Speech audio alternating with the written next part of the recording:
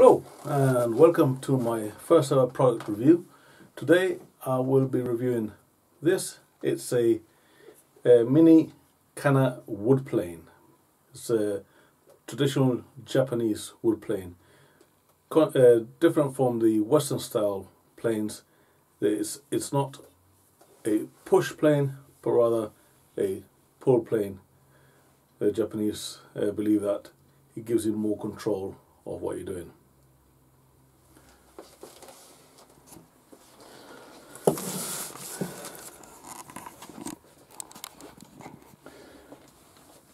First things first, it did arrive in a authentic Japanese uh, newspaper. You can see the date. And seeing that it's a product review from the UK, I don't know if the Japanese have a very good sense of humor or it was just um, coincidence. We have there what looks to be Theresa May navigating the front, the bow of the ship away from the rest of the ship. Little detail, but I guess that's just, it could be just their sense of humour. Anyway, down to business. First thing to note on a Japanese wood plane is that unlike the Western styles, it is not uh, perfectly flat. It's designed not to be perfectly flat. It will have, it will rock.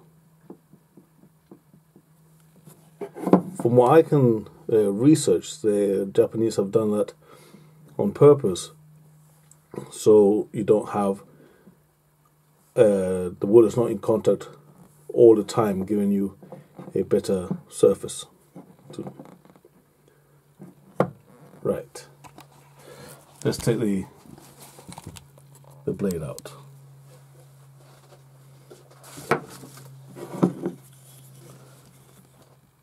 Push with your thumb and hit on the back.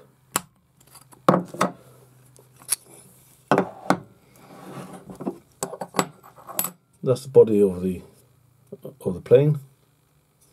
Nice hardwood. If anybody can tell me what that says, it'd be greatly appreciated. And this is the blade. Has no markings from the factory. Looks good quality steel. You will be need will need to sharpen that, but we'll get to that in just a moment. Unlike other Japanese planes, it's got this, which seems to be a chip breaker. So the blade goes in there, and your chip breaker goes there, giving you supporting your the cutting blade. Right, let's sharpen this blade. I like to sharpen my blades using an oil stone. This is an Indian oil stone. It's got coarse on one side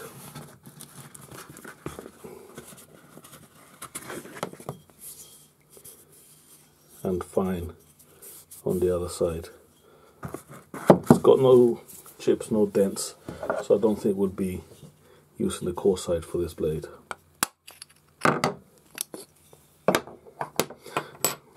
Now you can, you can sharpen it using the jig like this.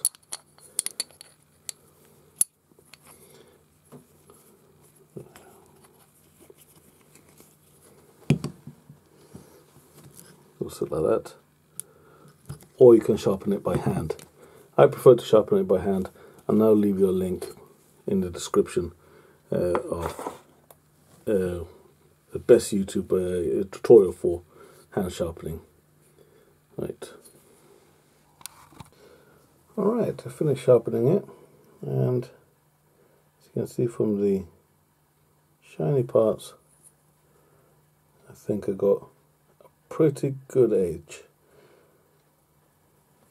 After using my oil stone, I went on to the leather. Right, but is not a review on sharpening. It's a real review about the block plane. So let's reassemble this.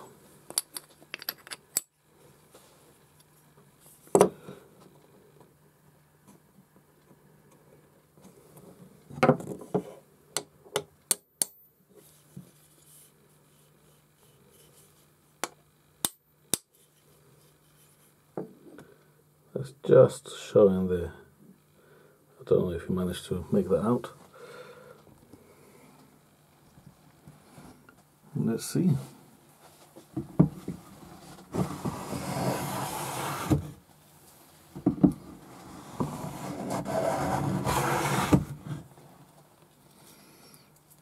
I think that does quite a nice job. That's my first ever plane that I've reviewed.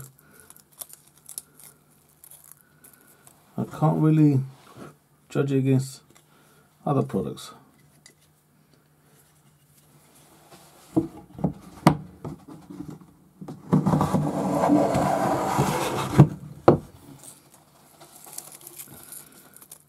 I probably need to align it a little bit more. It looks like it's cutting mostly from the left hand side.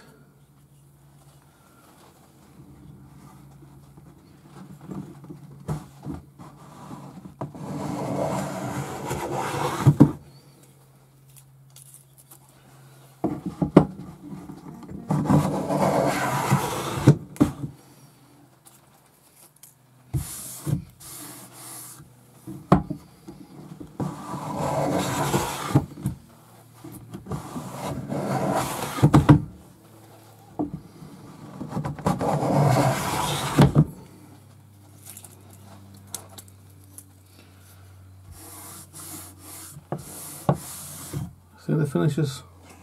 It's quite nice. It's a it's a cheap plane, but I'll sharpen it a bit more. Have a bit of practice and it should be quite useful. Well guys, I hope you've enjoyed this short review and I'll leave the, the links on uh, on the description as to if you want to learn how to uh, hand sharpen your your tools. And till the next time thank you